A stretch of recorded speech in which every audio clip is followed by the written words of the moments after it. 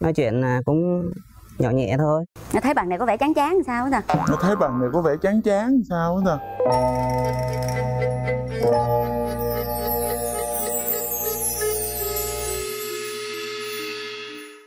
Bạn nào? Em á em á. Chị đang đấy lên đây mà. Em không có nhiệt huyết trong chuyện tìm bạn gái hay sao em thấy chán chán sao? Hơi nhút nhát mà cũng ít có ờ, tiếp xúc tại em Lan ờ, ở khu vực Đồng Nai.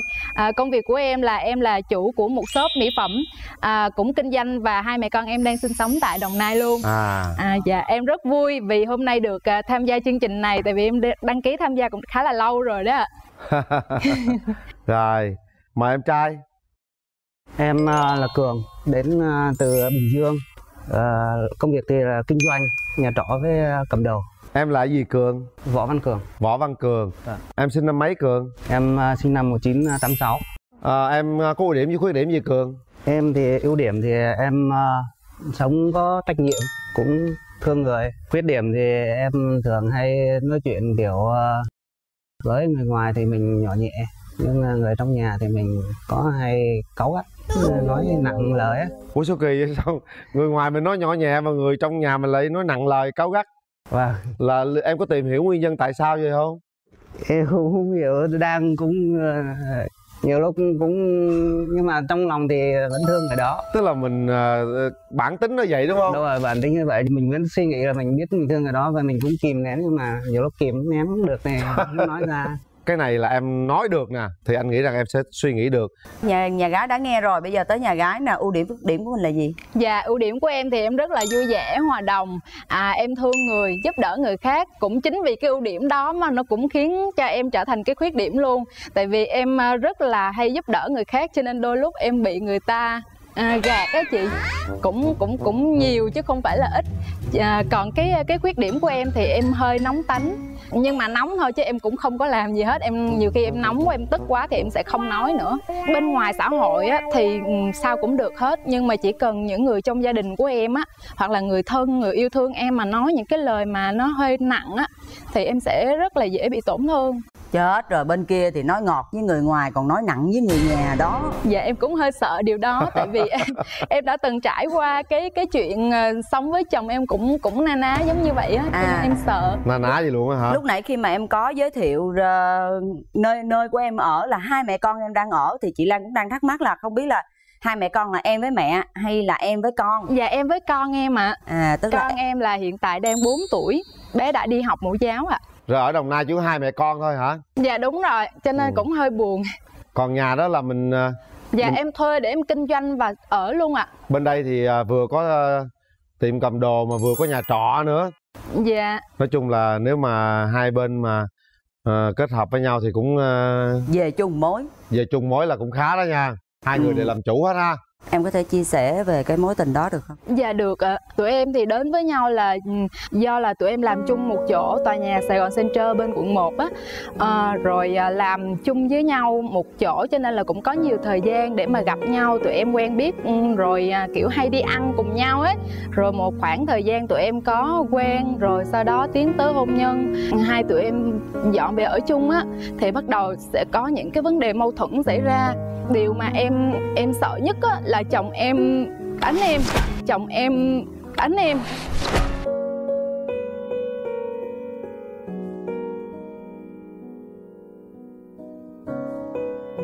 Em đang mang thai um, giai đoạn đầu là em bị ngán á mà kiểu chồng em là đi làm bt công việc của anh ấy thì giờ giấc nó không có được um, cố định. Xong rồi tới một hai giờ sáng về là cái thời gian thường xuyên đi đi về của anh là thời gian đó. Có nhiều lúc em rất là bị tổn thương do thời gian đó là em mới mang thai em thai ngán mà em lại phát hiện ra những cái vấn đề em rất là buồn như là em giặt đồ của chồng em thì em thấy rất là nhiều vết son hoặc là nước hoa nữ rất là nhiều. Em có hỏi rồi xong rồi sau khi hỏi xong thì thay vì à, hai bên giải quyết được vấn đề á, thì nó lại càng ngày càng trầm trọng hơn. Và đỉnh điểm là chồng em muốn em phá thai. Chồng em muốn em phá thai.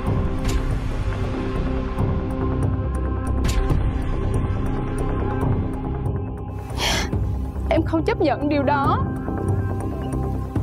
Thật sự là tới bây giờ em vẫn còn rất ám ảnh luôn. Cái điều mà ai cũng ờ, gọi là thấy thương hết đặc biệt là những người phụ nữ bị bạo hành như thế ha. Cũng chia sẻ với à, bên nhà gái nha. Dạ em cảm ơn ạ. À, còn à, tình trường mình sao? Tình trường ờ, em ờ, cũng trải qua một ờ, đời vợ ừ. rồi sau thì cũng có tìm hiểu hai ba người nữa. Nhưng mà tới kiểu người ta thấy mình có đứa con trai riêng rồi. Người ta không muốn tới tiếp với mình nữa để thôi. Con trai em mấy tuổi rồi? Tay em uh, 8 tuổi. Ở với ai? Ở với nội. Em với vợ em lấy nhau bao nhiêu lâu? Ừm, được cỡ 3 năm. Rồi em hay cáu gắt chắc đúng rồi em hay cáu gắt. Ừ. và, rồi vợ em ra đi. Và, đó lỗi của em đúng không? Và cũng lỗi của em. Ừ, đó biết nhận trách nhiệm như À. thế anh nghĩ rằng là được. Miễn sao mình nhận ra cái lỗi lầm của mình là được. Và mình khắc phục nó để người phụ nữ sau này đến với mình á họ không phải chịu cái cảnh mà như vậy nữa. Cô gái bên này có một đời chồng và có một đứa con và đây là con trai của cổ nè thì em ờ, cảm thấy như thế nào? Nó có phải là điều cản trở ờ, cho trong cái chuyện tình cảm của em sắp tới này không? Cũng có một chút xíu. Cản trở về cái gì em? À, cái thời gian tìm hiểu đó mình không có nhiều thời gian để sắp xếp. Em nói nó cũng hơi không công bằng lắm ha. Và tại vì bản thân em cũng đã có một đứa con mà. Nhưng mà vấn đề là tại vì con em ở với nội em không Đúng có rồi. nuôi. Ừ, nên là em có nhiều thời gian. Còn đây là cô gái người ta nuôi con chị Lan Lan lại nghĩ là khi mà bạn nghe câu chuyện này thì bạn dễ thông cảm hơn chứ. Tại vì mình đã có một đứa con rồi mà. Quan trọng là sắp xếp thời gian tìm hiểu thấy hợp mới được. Thực ra là nhà gái cũng phải lao động gấp đôi thì mới đủ tiền để nuôi con. Và, thì thời gian của người ta cũng không có nhiều. Đúng rồi. Thì mình phải là người chủ động thậm chí cô là gái bên kia cũng là chủ rất là năng động luôn đó. Ờ, không phải đơn giản đâu nha. Chứ cỡ cô gái này thì à, rất nhiều chàng trai Đúng. theo đuổi luôn đó. Đúng em mong muốn một người yêu à, lý tưởng của em một người mà có thể kề vai à, sát cánh với em như thế nào? Tiêu chí của em là một người đàn ông phải bản lĩnh. Ừ. Có nghĩa là chấp nhận được những cái ờ, rủi ro trong quá khứ của người phụ nữ của mình. Ừ. Mình chịu lắng nghe mình chịu chia sẻ yêu thương con của em. Ừ. đó là một cái tiêu chí quan trọng. Rồi nhà trai mình muốn tìm một nửa mảnh ghép như thế nào? À, biết nội trợ là được rồi. À, ngoại hình bình thường. Nói chuyện à, cũng nhỏ nhẹ thôi. Nó thấy bạn này có vẻ chán chán sao á ta Nó thấy bạn này có vẻ chán chán sao á ta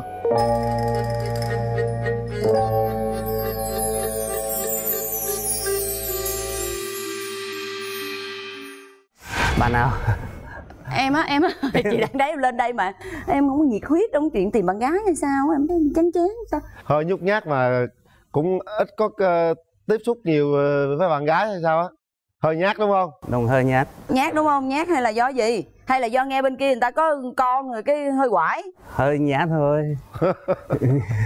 Mà nhất gái một con nhì thuốc ngon nửa điếu. Gái một con nhì thuốc ngon nửa điếu.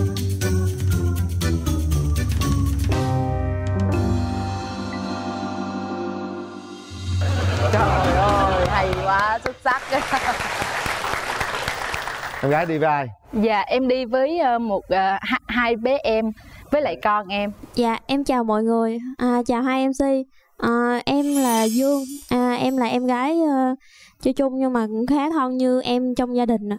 em thấy nhà trai sao nãy giờ em đánh giá sao nè? Em thấy anh ờ, hơi rụt rè, có vẻ không tự tin nè. Hay là có ai ép anh không? Hay có ai ép anh không? Bé hỏi câu đáo để về không không ai hết anh Hai người mà đến với nhau, tìm hiểu với nhau á Thì ờ, anh có ngại ờ, đứa bé không? chỉ ngại một chút xíu thôi chỉ ngại một chút xíu thôi ngày xưa là sao cường tại vì em nghĩ sau này ờ, trong lúc chăm con ấy thì người ta thường hay nói con anh con tôi ấy thành sợ cái vấn mấy cái vấn đề sau này ấy. trời ơi bao nhiêu cặp họ cũng vỡ gọi là lỡ chuyến đò họ cũng cặp với nhau họ không sống thật ra thì cũng rời. tùy tính cách mỗi người Ừ. cũng sẽ có những người họ không thích tuy là họ có gia đình họ có con rồi họ cũng đã lỡ bước rồi nhưng họ không thích kết nối với một người có gia đình và có con. Ừ. Thôi để chút mình gặp nhau coi nó có vấn đề gì xong mình nói ra luôn ha. Hồi nãy con À. không thấy mẹ em khóc không? Thấy mẹ khóc không? Nó chưa biết gì đâu. Thấy không con? Thấy thương mẹ không? Có. Thương hết toàn người mẹ mai mốt mẹ khóc rồi con phải lau nước mắt cho mẹ nghe không? Trời ơi giỏi không? Thôi được rồi. Bây giờ hai bên gặp mặt đi. Thôi mở mở nào nào cường nào bắt đầu công việc của mình đi. Chào em. Dạ em xin cường cũng chào. đẹp trai mà cũng phong trần mà. Mạnh mẽ lên nào anh có món quà gửi tặng em Dạ em cũng có ờ, món quà gửi tặng anh kèm với lại một cái phần ăn mà em đã chuẩn bị ờ, từ hôm qua và sáng nay em ờ, có mang theo đó là món à, bò lúc lắc sốt cà phê em tự làm tay qua nấu. ăn được không không sáng nay có hâm lại rồi để đem lên nóng Dạ em chuẩn bị từ hôm qua nhưng mà sáng nay em mới bắt đầu em nấu và mang tới đây nhờ chương trình hâm lên. Anh thử để coi thử cái tài nghệ nấu ăn của em có đúng theo cái yêu cầu cần một người phụ nữ nội trợ của anh không?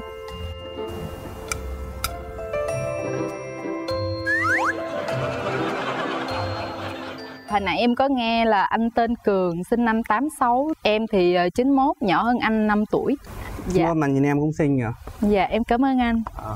Dạ không biết là anh à, anh cảm nhận em như thế nào khi mà mới lần đầu gặp mặt ạ? nói chung lần đầu gặp mặt thì thấy em xinh nói chung là tính cách thì không biết sao nhưng mà nhìn qua thấy cũng phụ nữ truyền thống đấy Dạ em Ngon cảm ơn anh. ngon ngon đồ ăn á tôi đang hỏi đồ ăn ngon không à đồ ăn hả thịt bò ấy quá. Dài quá vậy. Ấy lắm. Dạ. thôi về vị trí ngồi đi cường. Đó. Bây giờ để ra đầu đây. Mời hai bạn cảm hai nhận bạn về trò nhau. chuyện với nhau đi nào. Rồi. Cái tiêu chí mà một người phụ nữ của anh á hồi nãy thì em em nghe thì nó cũng hơi chung chung. Cho nên là em muốn nghe rõ hơn cái người phụ nữ mà anh đặt cái mục tiêu ra trong tương lai á. tại à, nhà anh cũng thiếu gì nữa đây nói chung là khổ cũng khổ nghèo cũng nghèo mà giàu cũng phải giàu. Chỉ thiếu có vợ thôi. Thì quan trọng người vợ thì à, bếp núc cho nó sạch sẽ gọn gàng là được. Nói chung là anh thấy em như vậy là cũng là được rồi. Dạ. rồi em còn à, muốn biết gì nữa không? Anh có thể nói chuyện với mọi người giao tiếp với mọi người rất là nhẹ nhàng nhưng mà cái lý do tại sao anh lại gọi là cáu gắt hoặc là khó chịu với những người thân yêu hoặc là những người trong gia đình của mình á có một cái lý do đặc biệt nào đó không ạ ví dụ anh nói chuyện với em gái của anh đi anh sẽ ừm, giao tiếp kiểu nó như thế nào? Nhiều lúc cũng như vậy luôn với cha với mẹ cũng vậy. Cái này á là bạn bị một cái chứng bệnh đó là bệnh ỷ lại. Dạ. Tại vì đối với người ngoài á bạn biết rằng người ta sẽ không chiều chuộng bạn không tha thứ cho những cái lời nói của bạn nói ra làm người ta tổn thương. Nhưng bạn ỷ lại một điều rằng gia đình là người nhà là máu mủ ruột thịt là những người chắc chắn sẽ luôn luôn yêu thương bạn cho nên chắc chắn người ta sẽ không buồn và không giận bạn vì những lời nói mà bạn nói ra. Cho nên khi mà bạn về nhà bạn nói chuyện với người thân trong gia đình nói với những người thân yêu của bạn thì bạn luôn luôn sẵn giọng vì bạn tin là người ta sẽ không rời đi. Đó là ỷ lại. Anh có một đứa con thì cái bạn gái bên kia bạn ngại. Đúng rồi. Và bây giờ anh đặt cái điều đó ngược lại đối với em là anh ngại con em đúng không ạ? Đúng rồi ngại sau này á sợ xảy ra trường hợp là con anh con tôi tại anh có làm bên dịch vụ chuyển tiền. Thấy ờ, vợ chồng mà cứ giấu nhau chuyển tiền cho con liên tục. Khi chuyển nhiều nhất thì 2 triệu chuyển ít nhất thì 500 mà cứ giấu như vậy mình thấy nó gọi là không có rõ ràng không có minh bạch á. Cứ giấu giấu giấu giấu thấy nó không có thoải mái. Xuất phát từ cái đó anh thấy như Dạ. vậy là người vợ người ta như vậy là người ta sẽ giấu mình có thể với người chồng đó cũng có thể là giấu vợ như thế là sau này kiểu gì cũng sẽ sinh chuyện rồi lại là ly hôn nữa rồi lại tan vỡ nó lại buồn nữa. Vậy rồi tới chừng nào bạn mới có vợ được? Thì đó thì cũng không biết nữa giờ khó quá. Bạn đưa ra một đề bài rất là khó và tự bạn đưa bạn vào trong ngõ cụt luôn. Dạ. đúng không? Theo theo theo cảm nhận của em á nếu mà anh muốn thay đổi cái vòng luẩn quẩn đó của anh á thì anh phải đặt cái niềm tin vào cái người phụ nữ đó và khi cái người phụ nữ đó cảm nhận đủ được cái sự mạnh mẽ của anh rồi thì người ta cũng sẽ tin tưởng ở anh. Và cái chuyện mà cô muốn chuyển tiền cho người này người kia tất nhiên là hai vợ chồng sẽ có một cái quá trình trao đổi chứ không có chuyện là ừ tôi muốn chuyển bao nhiêu tôi chuyển anh muốn chuyển bao nhiêu chuyển lại. Em thấy cái sự liên kết nó không có cái niềm tin nó không có. Đúng rồi. Dạ. Cái quan trọng lớn nhất là bạn phải yêu thương được con của cái người đối diện.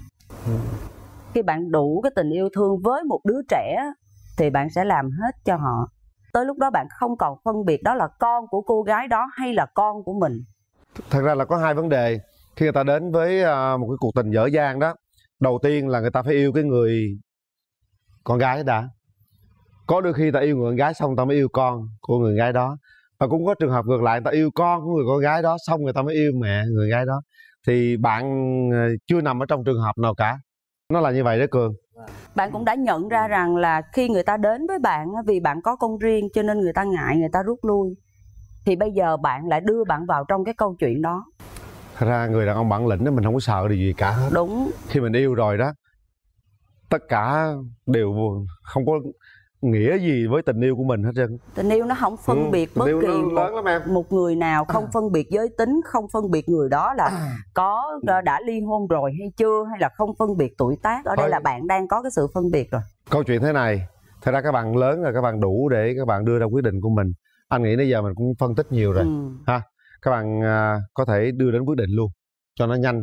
Các bạn có một cơ hội 30 giây đến đây. Cường cứ nhìn thẳng vào cô gái đối diện em chỉ nói về cô gái này thôi. Em thấy trước mắt em cô ấy như là người như thế nào? Nãy giờ nói chuyện thì nói chung là thời gian nó ngắn, mình cũng không hiểu hết được về nhau. Hy vọng là sau chương trình này, mình à, cứ bấm nút hẹn hò đi, rồi tìm hiểu tiếp. Nếu được thì à, tiến tới hôn nhân.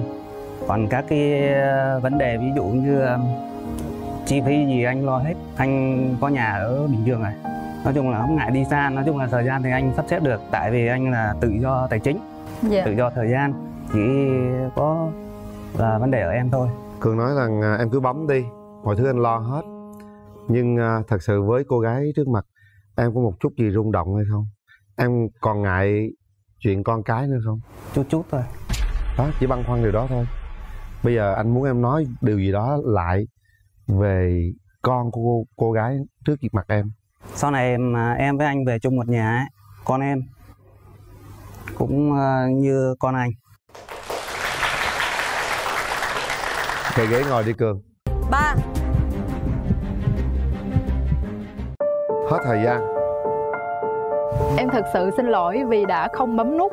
Tại vì tìm một cái người mà thật sự họ phù hợp với mình á, không phải là ngày một ngày hai. Tuy nhiên là cái quan điểm của anh ngay từ đầu về cái người phụ nữ đó cũng nó có giới hạn đối với em á. Thứ nhất là em chưa đủ tin. Đó chưa Đấy. đủ lòng tin thôi. Anh lên đây ấy thì nói chung là anh nói cũng có hay. Dạ. Anh biết em nói rất hay. Nhưng mà lòng anh thì là Dạ xác hay. định rồi. Là anh cũng phải đi chơi. Tại anh cũng có công việc. Tại em chưa chưa chưa chưa chưa tin anh nhiều thôi. Không biết là anh bờ vai anh vững chắc hay không nhưng mà nói chung là tài chính từ lúc mà lấy vợ tờ là anh lo hết? Em có nghe nhưng mà nãy giờ em cũng chưa có đề cập cái vấn đề tài chính lắm. Thật sự với em đó không phải là vấn đề quá to tát. Ở đây nhà gái không đề cập một chút nào về tài chính. Đúng rồi. Và chúng tôi cũng không yêu cầu bạn là phải lo về tài chính cho chúng tôi chỗ dựa vững chắc nó là tinh thần. Cái người phụ nữ khi mà họ đã một lần ly hôn rồi họ chịu nhiều cái tổn thương như vậy rồi thì họ cần cái tinh thần rất là nhiều. Ở đây lan rất là tôn trọng và rất là gửi một cái lời cảm ơn với bạn vì bạn rất thật thà với cái cảm xúc của mình. Bạn có sao bạn nói vậy? Thôi coi như hôm nay mình không có duyên bấm nút với nhau. Đây là những phần quà dành cho các bạn. Có một ngày. Và nếu như có một ngày một ngày nào đó vậy anh yêu em có vầng trăng làm chứng bầu trời. Nhiều sao sáng đêm nay nhiều như những gì mình đã mất. Một lần có trọn vẹn ái ân với em anh mãi là người tình trăm năm. Còn mét chị thảo bây giờ. Có biết không? Tâm cơm Tâm ơi. Cơm con ăn nha, thoải mái nha. Tí đi làm cốc nào Áo dài trắng nha. Ăn đi con, Em vô ăn luôn. Ờ Ờ. Áo dài trắng á. Có, có cái đèn này đó nha. Ăn đi con, ăn, ăn thoải mái đi nha. Có chú Chú tí nữa áo dài trắng con chú bảo Chú ờ, không, Mấy đèn mấy đèn Bên đây nha. Ừ. Để anh Tâm. Nhá Cơm ngon nha con. Cảm ơn con. Ủa chú ăn cơm